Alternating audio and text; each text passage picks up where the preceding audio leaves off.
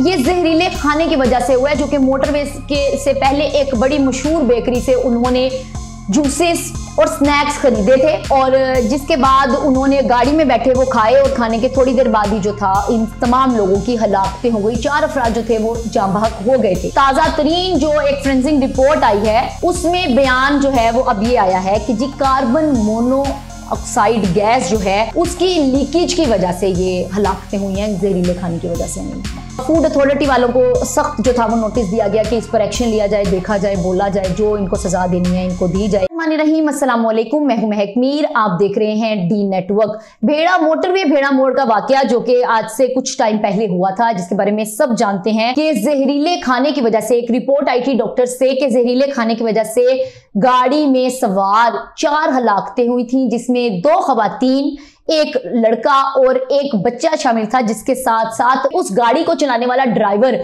जिसकी जान बच गई थी।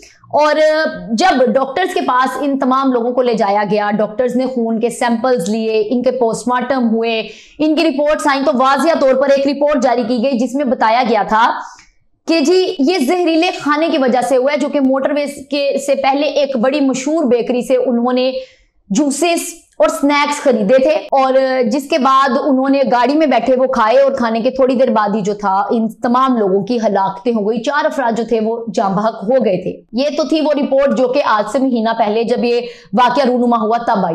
अब नई ताज़ा तरीन जो एक फ्रेंसिंग रिपोर्ट आई है, उसमें बयान जो है वो अब ये आया है कि जी कार्बन मोनो ऑक्साइड गैस जो है, उसकी लीकेज की वजह से ये हलाकतें हुई हैं, जहरीले खाने की वजह से नहीं हुई। शायद आपको मेरी बात की समझ आ रही हो। जहाँ से मैं इस वाक्य को देख रही हूँ, मैं ना इस वक्त फ्रेंसिंग रिपोर्ट ने जो कहा है, वो मैंने आपको बता दिया है, लेकिन मेरा एक अपना पॉइंट ऑफ़ व्यू है जिसके जिसके ज़रिए मैं आज आपसे एक बात करने जा रही हूँ।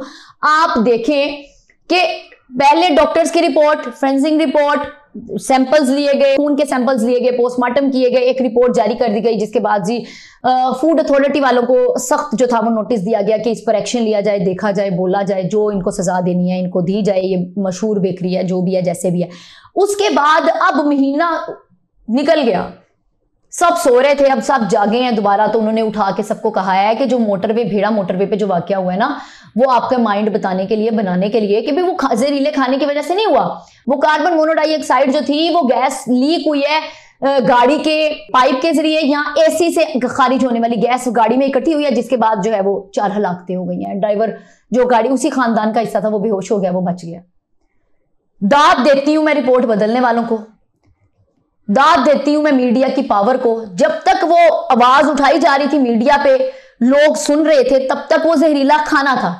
आवाज़ दब गई, केस खत्म हो गया तो एक नई कहानी खुल गई, एक नया कट्टा खुल के सामने आ जाता है हर दफ़ा। यहाँ पर जो पैसा है, यहाँ पैसा बोलता है, जो कार्रवाई हो जाए, जो हादसा हो जाए, चाहे एक्सीडेंट से किसी की जाने चली जाए, जब तक मीडिया बोलता है, उस वक्त तक जो है सोशल मीडिया जब तक बोलता रहेगा, तब तक उसके पीछे डंडा रहेगा, पुलिस का, अदालतों का, जिस जिस भी फ़ील्ड से रिलेटेड वो जो भी जुर्म हुआ, जो भी काम पड़ा, जो कार्रवाई पड़ी, वो उस फ़ील्ड से रिलेटेड लेकिन अगर दूसरी तरफ़ जहाँ मीडिया की आवाज़ बंद हो जाएगी, जहाँ पब्लिक बोलना छोड़ देगी, जहाँ आवाम जो है आवाज़ उठाना बंद करेगी, वहाँ पर आपकी रिपोर्टें बदल दी जाएँगी, मुजरिम छूट जाएँगे और जो उनके साथ वाले हैं वो माफ़ करना शुरू हो जाएँगे। तो ये हालात हैं।